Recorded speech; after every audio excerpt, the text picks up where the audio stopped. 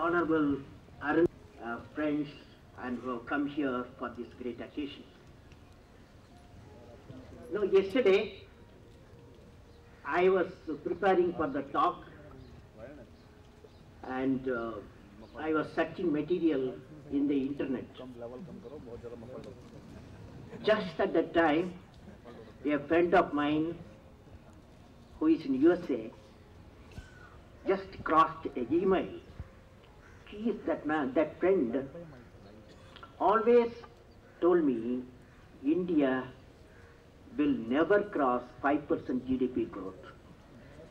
Then that guy has sent me a beautiful message I want to read to you.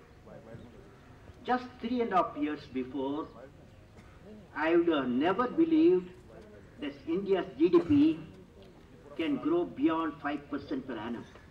Today, I confess, I have changed the mind. One example I give for the change is the growth in the mobile phone industry in India and the developing world. We in India are adding almost 1 million new consumers every month or 2.5 every second.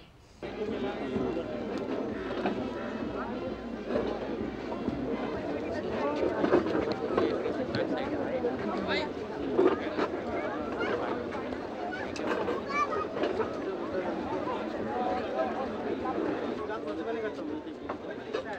पहले।